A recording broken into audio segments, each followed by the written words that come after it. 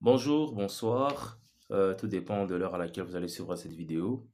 Euh, merci, merci à la communauté qui ne cesse de, s'agrandir et euh, voilà, c'est toujours encourageant.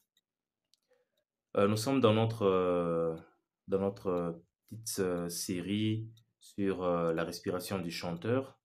Aujourd'hui, nous sommes dans l'épisode 2 où nous parlerons de l'inspiration. L'inspiration.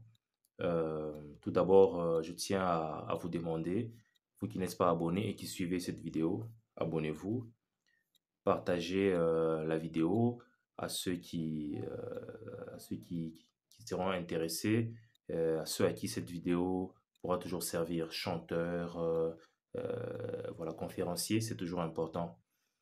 N'oubliez pas aussi de liker, mais surtout abonnez-vous pour ne rien manquer parce que euh, nous continuerons toujours à poster de nouvelles vidéos euh, de manière en tout cas régulière.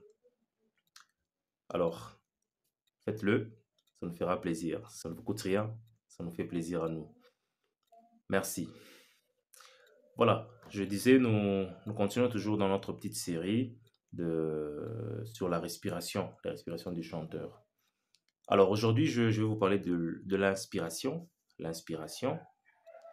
Alors, euh, la respiration du chanteur euh, se fait en quatre phases que nous appelons le cycle de la respiration du chanteur. Nous avons quatre phases.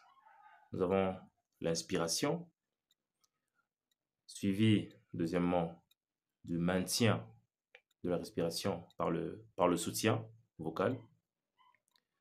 Nous avons l'expiration contrôlée par le soutien, c'est-à-dire euh, l'expiration qui est contrôlée, c'est le chant même. Lorsque nous chantons, nous expirons, mais de manière contrôlée. C'est la troisième phase.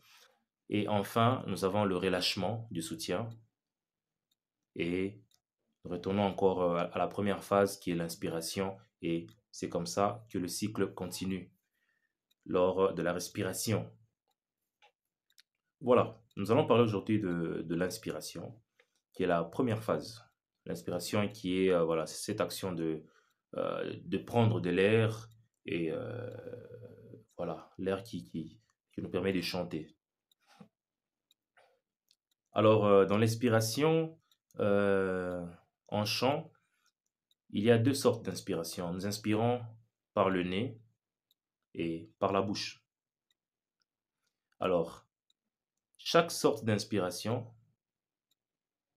euh, a ses avantages et ses inconvénients. Alors, lorsque nous inspirons par le nez, l'inspiration par le nez présente comme, euh, comme avantage euh, le fait que l'air est filtré. L'air est filtré, c'est-à-dire, voilà, peu importe la qualité de l'air qui se retrouve voilà, dans notre environnement, que l'air soit chaud, que l'air soit, euh, frais, l'air est filtré et euh, au fond de nous, nous avons un air qui est un peu chaud et ne nous cause pas trop de dégâts. Tandis que lorsque nous inspirons par la bouche,